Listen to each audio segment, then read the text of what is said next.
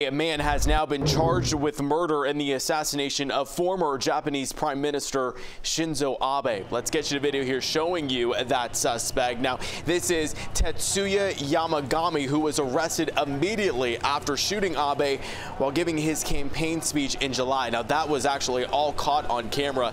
Police say he told them he killed Abe because of his apparent links to a religious group that he hated.